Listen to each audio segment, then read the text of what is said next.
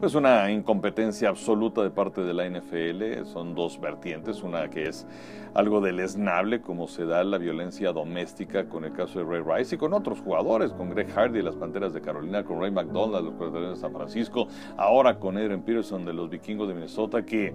eh, había sido inactivado para el partido del pasado domingo en contra de los eh, Patriotas de Inglaterra. Después la directiva dice, ok, vamos a permitir que tú estés con nosotros mientras la situación legal lleva su curso. Y después dijeron, no saben qué, la regamos y queremos que todo esto sea de la manera correcta. Entonces ya lo acaban de suspender de manera indefinida. Y lo de Rice, pues es eh, una serie de, eh, es una comedia de errores de parte de la liga. Eh, primero, se me hace increíble que con las conexiones y con todo el poder que tiene la NFL no hayan sido capaces de hacerse del video que saca TMZ en donde se ve todo lo que sucedió en el elevador. En julio pasado, Chris Mortensen, reportero de ESPN, había dicho que una de sus fuentes le había comentado lo que había pasado en el elevador, lo describió con pelos y señales y al ver el video es exactamente eso, es decir, existía también la cuestión esta del video. Eh, dice la NFL, no, lo que pasa es que hubiera sido ilegal el hecho de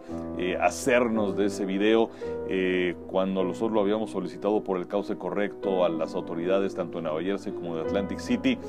La NFL no se molestó en nada en eh, mancharse las manos para hacerse del video de Bill Belichick de los Patriotas cuando estaban espiando a los Jets en Nueva York, o también de hacerse de miles de fojas eh, para investigar el asunto de las recompensas de jugadores que lesionaban a sus rivales de los Santos de Nueva Orleans. Entonces a mí es algo que no me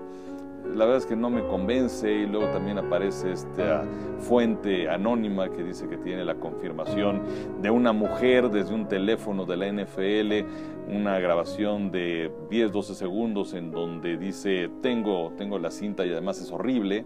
Eh, y luego la investigación independiente que mandó a hacer la NFL con un eh, ex director del FBI,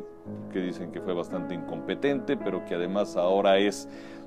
de una firma de abogados que a su vez representa al dueño de los Pieles Rojas de Washington y también a otros eh, funcionarios en la NFL, así que una investigación independiente, yo francamente no lo creo. Así que bueno, es, es un tema bastante largo y, y sí creo que la credibilidad de la NFL se ha puesto en juego.